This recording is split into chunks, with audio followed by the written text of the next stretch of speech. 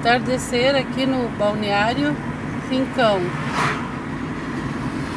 Hoje está um dia muito.